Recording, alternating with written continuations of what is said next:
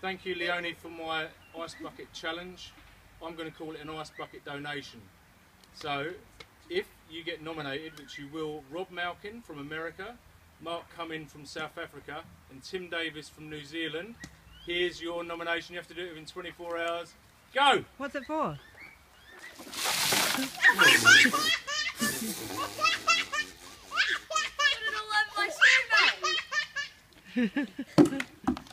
Challenge is on.